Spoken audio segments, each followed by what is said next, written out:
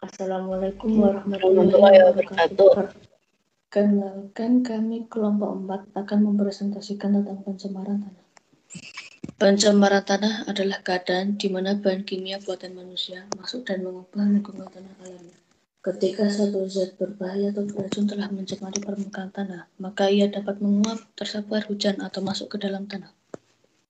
Penyebab kebocoran tanah. Satu, eh, penyebab pencemaran tanah. Satu, kebocoran limbah atau bahan kimia, industri atau fasilitas komersial. Dua, penggunaan pupuk dan pestisida yang berlebihan. Tiga, masuknya air permukaan tanah tercemar ke dalam lapisan sub permukaan. Empat, kecelakaan kendaraan pengangkut minyak. Biopolutan. Biopolutan disebut juga dengan polutan yang berasal dari agen-agen biologi. Agen-agen biologi ini biasanya dapat berperan sebagai pupuk kompos bagi tanaman di dalam tanah. Jenis polutan ini berasal dari hasil ekskresi manusia, burung, dan hewan-hewan lainnya. Aktivitas pertanian dan perkebunan Pertanian maupun perkebunan biasanya menggunakan beberapa bahan kimia untuk menunjuk untuk menunjang hasil panen. Bahan kimia tersebut di antaranya pestisida, pupuk kimia, herbisida, zat kabur, kompos, dan lain sebagainya. Penggunaan bahan kimia yang berlebihan berpotensi mencemari tanah dan berbahaya bagi kesehatan manusia.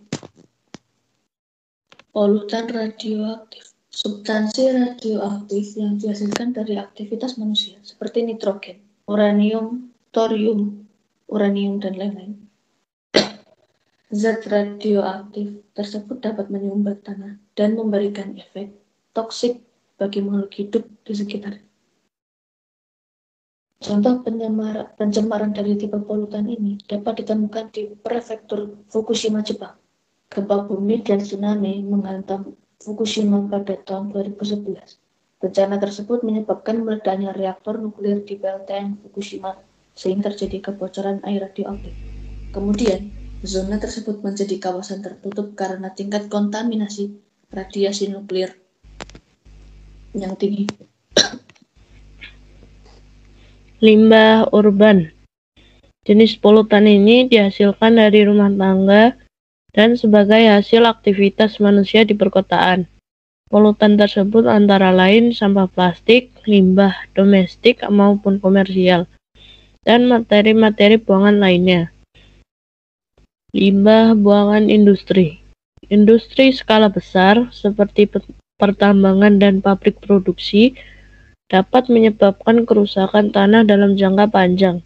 Limbah industri skala besar di antaranya berupa logam seperti timbal PB, merkuri Hg, arsenik AS, nikel, Ni, dan sebagainya.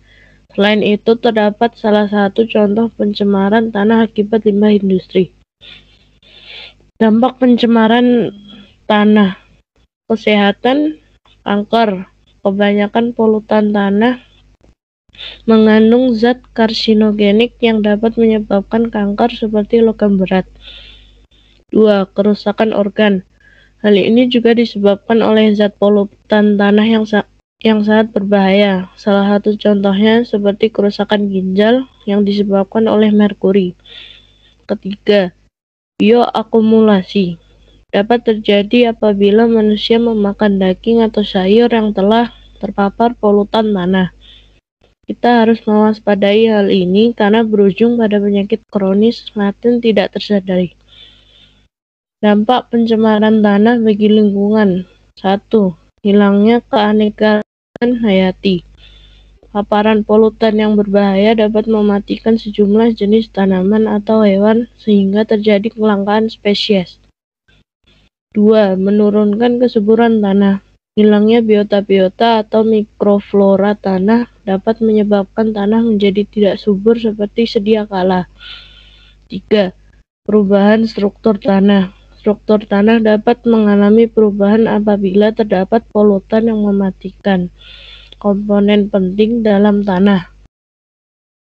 Sekian dari kami, mohon maaf jika ada kesalahan penyampaian. Waalaikumsalam warahmatullahi wabarakatuh.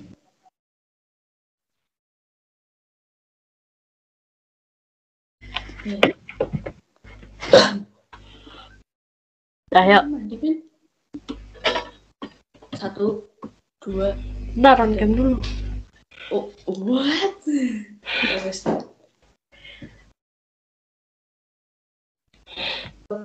Gimana sih? Yuk, tiga, dua, satu. Wassalamualaikum warahmatullahi wabarakatuh.